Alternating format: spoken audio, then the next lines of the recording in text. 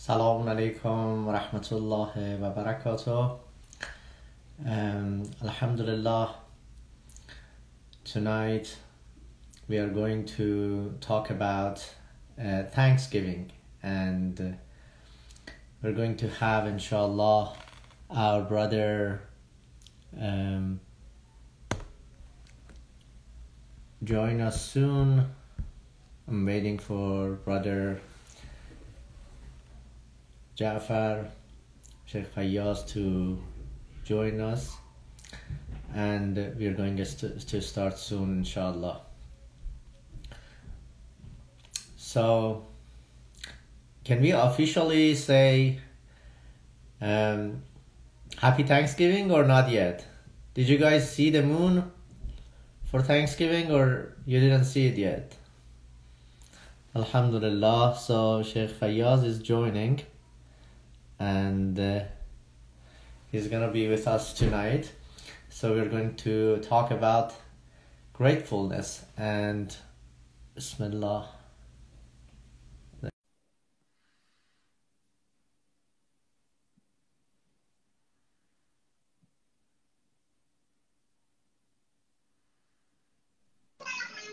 Assalamu alaikum. Assalamu alaikum wa rahmatullah, Sheikh Faiyaz. How are you, Sheikhna? Alhamdulillah, Alhamdulillah, everything is fine. How about you? Good, good. So nice to see you. Nice to see you too. Alhamdulillah. I see your little one in the background. Yeah, say assalamu alaikum. Assalamualaikum. How are you, Sheikhna? Doing okay? Alhamdulillah, yeah, everything is fine. I was just saying that can we officially announce that the moon of Thanksgiving has been sighted? Alhamdulillah, Alhamdulillah. I think ho- hopefully, hopefully we don't have any issues or drama this year. Inshallah, inshallah, inshallah, inshallah. Are you looking forward to the holidays and Thanksgiving?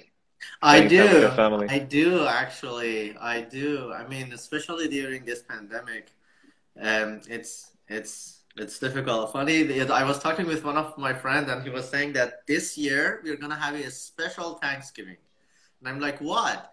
He was saying like it's because we are going to have a lot of turkeys these th- this year, because we don't have guests over, so That's the right. turkey is only for All us. for us. so, Yeah, you know, you know, this whole whole experience, uh, without a doubt, over these last how many months now, eight months, uh, has really taught us uh, that there's a lot to be thankful for, right? And that this life is very fragile, and that uh, it's very transient, and uh, we're so blessed and privileged with so many different things. Uh, what else can you say? But you know, alhamdulillah, wa nashkurullah, wa nahmaduhu, ala kulli hal, really. Um, and that uh, Allah subhanahu wa ta'ala is great that there's so many people who are undergoing, you know, so many obstacles economically, financially during the course of these days. Uh, these days, you know, are, are a good opportunity for us to also be introspective uh, and reflective about um, everything that we should be thankful to Allah subhanahu wa ta'ala for, you know? Alhamdulillah, Alhamdulillah, Alhamdulillah. Yeah, I think the, the issue of Thanksgiving is just very important. And I, this is actually something that we do every day in our life. And um, so, Sheikh, how, how do you do? How do you practice Thanksgiving in your life? How do you practice shukr in your life? Like in your personal life, I mean. What are some of the things that you are thankful for? Yeah, thank you. I mean, I think, I think, Sheikhna, you know, the first time when I really, really understood what gratitude and thankfulness uh, meant uh, has been, you know, was was was several years ago when I my older daughter, who you just saw a little while ago, Zainab, mm, uh, keep keep her near du'as. We were I was teaching her prayers, and of course, you know, she's standing and bowing and prostrating, and you know, you know, picking up the turba and the and the and the prayer beads and all of these things. And uh, one thing that I would always get her to do was after prayers, like I was taught from my parents and they were taught from their grandparents, is after you complete your prayers, you know, you go into prostration and you, you know, say thank you Allah, say, you know, shukran lillah or whatever. So I was telling her, you know, to say it also, and she would go and do it. And then, you know, one day, maybe she was three years old, she said, Baba, why are we saying thank you to Allah? And uh, when she asked me that question, I actually started to realize how much in my life I was so, um, you know, performing this, performing this as such a routine and never actually being mindful of what it is that I'm thankful to Allah subhanahu wa ta'ala for. So since that day, you know, and my kids have taught me so much about what it means to be thankful and about really how to understand Allah subhanahu wa ta'ala more than anyone else um, that I've ever experienced, is that it allowed for me to actually be thoughtful of certain things that I was thankful for. So now when they are praying around me, I'll always tell them, you know, what, what, why are you saying thank you to Allah? So they'll say, I'm thankful for mama and I'll thank, I'll thank for, for my mom and for my dad and for the food and for the house and for these toys and for these things. And I began to realize that, you know, we take all of those things for, you know, for granted exactly. so much to the extent that as adults, even though we tell our kids to be thankful for them, when is the last time that I was ever thankful for, you know, the sun? When was I ever thankful for heat? You know, in the famous dua, like, you know, better than I, Imam Zain al-Abidin, he says, Alhamdulillah alladhi ja'alani ashtahi. Oh Allah, thanks be mm-hmm. to you who has, you know, given us the ability to crave food. you know, we all love to eat, especially during the holidays. It was like that craving that we have for food, like that itself is something to be thankful for. So really there's yeah. so much, you know. Sorry, go ahead. No, I just wanted to say I think we have some sort of an attitude that we are thankful only the times that ni'mah and blessing is only for us. And if a blessing and a ni'mah is for everyone else as well, we basically don't feel the necessity of being thankful. So, for example, what you said that, okay, we are just having the appetite, right? we don't feel special about it so we are not thankful about it it would be it would be like you know what mom cooks food for us or dad cooks for uh, food for everybody and and we come around the table and what happens is that okay no one says thank you baba or thank you mama. Why? Because you you gave food. It was not only for me it was yeah. for everyone in the family. You reminded me of the of the of Imam Sajjad alayhi salam. When he's thanking Allah subhanahu wa ta'ala for things that are shared. Like I remember him talking and thanking Allah subhanahu wa ta'ala for the sun. Like imagine like how positive pers- is the personality of Imam Sajjad alayhi salam when he comes out and this is a dua that he was reading he was reading regularly. He comes yeah. out and he looks the sun and thanks Allah subhanahu wa ta'ala because he has given us the sun, because yeah. the day exists, because the night exists. Yeah. You know, just waking up and having these things. You know, and thinking about those blessings, really they do so much, right? Without the sun, there's no heat, there's no light, there's no energy, there's no photosynthesis there's no grass and there's no trees and how am i going to eat nice kebab or how am i going to eat what the cow is doing yeah. really there's like a chain to everything that we are in a state of gratitude mm-hmm. to allah subhanahu wa ta'ala for you know and the smallest things you know there there are people um, i remember i remember sort of reading one tafsir of the quran and it made me think so much that being thankful to allah subhanahu wa ta'ala for something as simple as being able to not even being sarcastic but being able to use the restroom when other people you know it's painful for them to do that you know right. and that, that that itself is a blessing that how many times did i ever thank allah you know when you get a fever or when you have a little bit of injury on your toe or on your finger or on your foot something so small mm-hmm. and then you realize like oh my god like I never was thankful for you know for all of these things. Allah exactly. So you know what? What I th- I think what's happening here is that uh, we are so much focused on the immediate cause of things that all of the other chain that you mentioned that prepares things for us we we forget it there is a poem in farsi which says ابر و مه و خورشید و فلک در کارند تو تو نانی به کفاری و به غفلت نخوری exactly talking about the same thing. It says that the cloud the sky the sun everything in this universe is working our chain or the background music for this blessing that you have today. And you kind of kept keep forgetting it because it's just kind of a background in, in, in, in our eyes. And i think just the ability for us to be able to change that background to foreground music and being able to to see those blessings i think is is is something that we need to reflect on these days so so what do you think are some things that we can do then to actually, you know, be mindful of those blessings that are in front of us. Um, oh, thank you for asking this. You know what? I, I think I, I mean, I, this there's a there's a practice that we all do, but for me personally, um, honestly, I think that um, I have been practicing this, and I think it's a good idea if um, to share it with audience, with, with all of us around here. Here, and that's the uh, Tasbihat Hazrat Fatima Zahra Salamullah alayha. This is such a nice, beautiful ritual that we do it every day after each prayer. But sometimes we are not able to connect and identify with it. Sometimes we are not able to relate it to our everyday life.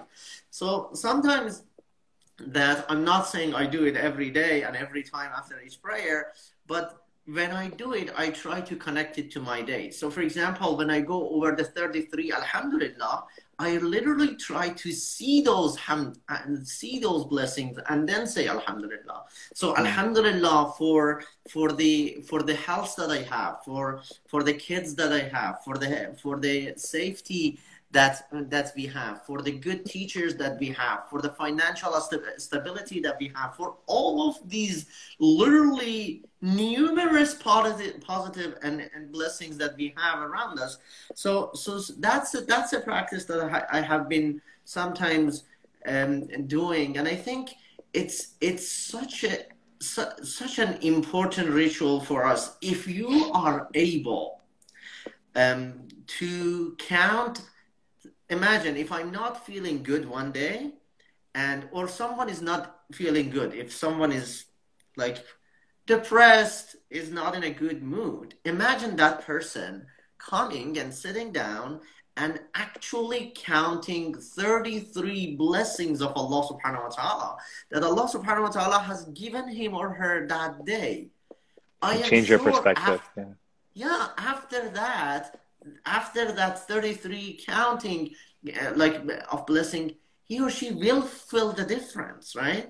Yeah. So, yeah. yeah. it's yeah no it's a beautiful practice. Again I, I would agree with you that you know when you start being thankful and start to count the blessings that you are afforded even in spite of all of the obstacles and difficulties that any day might present you it sort of um, humbles you a little bit right? And that's why i think that living you know in the midst of these days in this pandemic that we're sort of undergoing like what what has it taught it like you know like you know what has it taught me about again like the fragility of my life and what I should be thankful you know for it's sort of helped me individually and I'm sure many many others as well who are viewing that you know my family is like the most important thing in my life you know and that spending mm-hmm. time with them as much as I used to love to go and you know travel and visit different communities and you know do all you know do do things sort of independently and you know i i always you know i or or i didn't appreciate individually you know personally i didn't appreciate like that that really close time with my kids because i was so busy many many a time and now i say you know alhamdulillah like at the at the very least you know that that time with my kids now even if i go out for a walk for 15 minutes and i come back they they they they come and they hug me and they kiss me and they you know tell me you know why did you leave us and where did you go? I said I just went you know, for 10 or 15 minutes. And those moments, you know, you cannot take them back. So they're, they're sort of manifestations of these blessings. So again, like just thinking and counting, you know, even in the hardest and the most difficult days, you know, five or 10 or 15, if you can get to 33, then, you know, all the more better.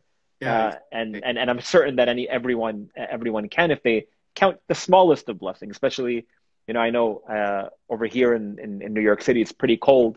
Uh, it was really, really windy today, and these next several days are going to continue to get colder like you know, at least alhamdulillah, like I have, you know, like a warm jacket and I have gloves and I oh, have yes, all of these things, right? Like yeah. even yeah. those tangible things are, are things that I should be thankful for when there are so many who don't have like those resources at all, you know? Mm-hmm. So I'll, I'll ask you this, Sheikh, like what is the thing then that you are most thankful for, the number one or, you know, the one, two, three things in your life that you are in a state of gratitude for? Oh, being friend with you. Thank you. That's very nice. Well, honestly, honestly, having good friend around us, I think this is one of the be- one of the most important blessings that, um, you know what, if we we we don't recognize it before before losing it. So I think one of the most important blessings in my life have been good friends around me, and uh, and uh, it's it's it's just it gives me a lot of hope, energy, and I'm looking forward to them just to call them. One of the main things that I'm missing these days, Sheikh, is that I'm not able no. to go to hug them, to kiss them, yeah. to hand like no. we, I was not thinking one day I will thank Allah subhanahu wa ta'ala for shaking being able to shake hands with people. And now I'm like, yeah, right. Allah, I'm so yeah. sorry that I did not thank you for that. Yeah, right.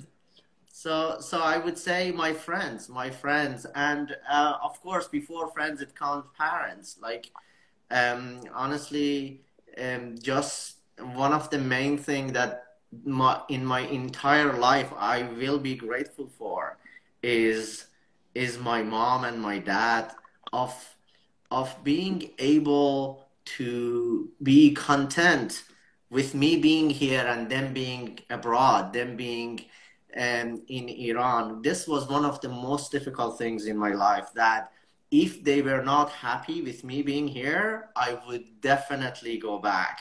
But but I know it is difficult for them, but they are happy. They show that they are razi. At least that's how I I see it when they are talking. And I'm like, Ya Allah, this is the most important blessings that I have in my life. And may Allah subhanahu wa ta'ala bless them. And may Allah subhanahu wa ta'ala, like if you have parents, just um, just be as much as you are able these days to spend time with them virtually, just calling them um, and and being around them. You know, like I, I think I think that's these these two are the most important blessings that I literally see in my life. Um, good teachers, of course. Um, I don't know. The list goes on and on. Of course, there's so much to be thankful for. Like, tell, yeah, I, yeah, no, thank you. I, I, I see a lot of people posting on the on the comments as well. I, I was as as you were speaking and as as as I, as I saw some of the the sisters and brothers noting down things in the in the comments, I remembered famous dua from Amasad. Sadiq. He says, "Alhamdulillah, alladhi arrafani nafsahu wa yatrukni amyan al qalb." Uh, all thanks and all praises due to you, O Allah, who has and given me the knowledge to know you, um, and not made me um, blind, blind in the heart, meaning that you have exposed me to, to you. And by virtue of knowledge of God, the knowledge of the Prophet, sallallahu alaihi wasallam, the knowledge of uh, the Imams of Ahlul Bayt, peace and blessings be upon them, right? What a better blessing, um, what a better blessing than that. Uh, something more, you know, tangible uh, to your question. I think, I think like the blessing to, to serve, the blessing to do things like this, right? The opportunity to to to share with like members of the community. Like you know i have you know alhamdulillah i feel like so blessed to have like a job where you know my life is about you know talking about allah subhanahu wa ta'ala right? Talking about the quran and talking about ahlul bayt alayhim salam like what is you know as as much as i need to sort of practice more what i preach and may allah subhanahu wa ta'ala forgive me for all my shortcomings it's like a really really great blessing to you know to be able to to serve like in this way so, you know, without a doubt, um, of course, like you said, family, parents, children, uh, and all of the day to day sort of tangible things that we have. Mm-hmm. Uh, without, with you know, without a doubt, there there's so much to be um, there's so much to be in a state of gratitude and thankful and thankfulness for. So no doubt about it. Alhamdulillah. Wa nashkur Allah. Now I see the uh, some of uh, like one of us is writing wilaya, the love of Ahlul Bayt alayhim salam, and honestly, that's one of the one of the greatest blessings that we have, and may Allah subhanahu wa taala increase the love Amen. of Ahlul Bayt alayhim salam in, in in our hearts, inshallah. Amen. Inshallah, inshallah. Yeah. Sheikh Nabi, yeah, go ahead. Sorry. Go ahead. I was gonna. I, I I don't know if we had any more questions, but I wanted to ask you, sort of on a side note, away from this conversation uh, what is your favorite um, Thanksgiving dessert? Maybe to conclude. uh, you know, Sheikh, I I was just talking with my wife and I was telling her, look, I for some reason I don't like turkey. What should I do? For, forget the turkey. How about the dessert? Oh the sweets. my god. Um, well, if if baklava is available, I don't go. I, I don't change it with anything else. Do you? Do you I mean, I'm, an, I'm yeah. I'm, I mean, I'm with Sheikh Mehdi over here. He just he just posted it in the in the comments. I'm like a pecan pie guy myself. So you need you you need to get into the um you know to the to the Thanksgiving spirit and enjoy all the all the assortment of traditional Thanksgiving dessert. Uh, exactly right. No, no, no. I think I we have customized it so much that it's not like like the yeah. It's not the traditional American Thanksgiving. Exactly. Huh? Exactly. Uh, I feel bad for you. Definitely try pecan pie with uh, warm it up. Well, send some over. Inshallah. Inshallah. Inshallah. Thank you so much, Sheikh, for having You're me. You're welcome. Uh, Sheikhana, um, yeah. I just wanted to ask you, like, sure. yeah, we did talk about how we practice it for, um, for ourselves and how we kind of uh, practice being shakir in our daily life personally. But do you have any recommendation, any advice of how, as parents or as uh, older brothers and sisters, we can we can basically help our younger brothers and sisters or our kids to be thankful, to practice shukr in their daily life. Any advice comes to your mind?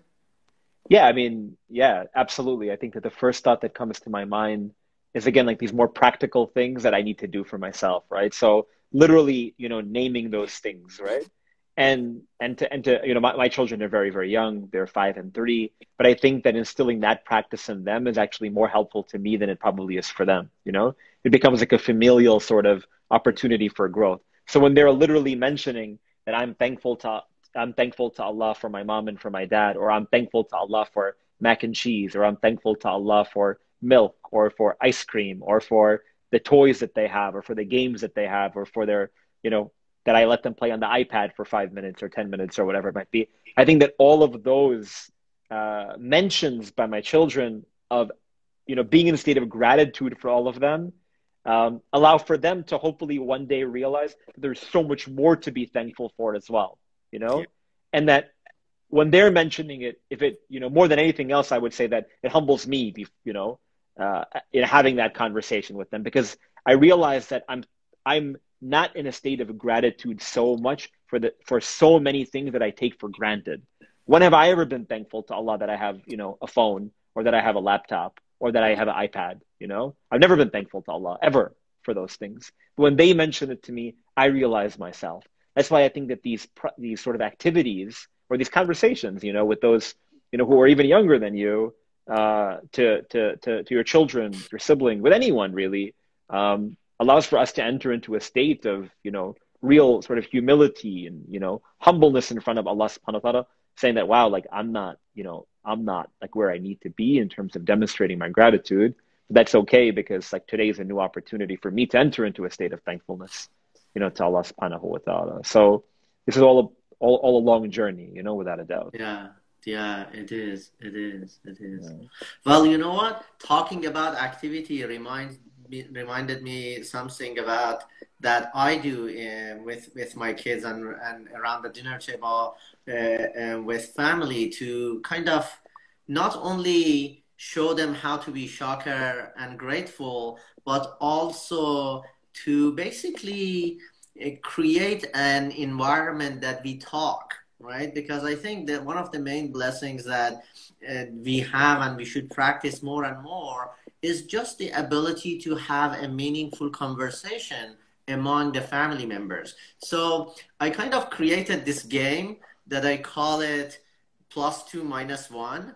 And uh, we go around the table instead of asking like, uh, like, Fatima, how was your school? Or Zainab, how was your school? Which is a boring question for for everyone, right? right? So I ask, let let's go around and do plus two minus one game, which is to talk about two good things that happened during your day and one bad thing or one thing that you could do better during nice. your day. And very nice. it's it's it's very interesting, Sheikh, that that I thought like I have been doing it. I mean, on and off, I have been doing it.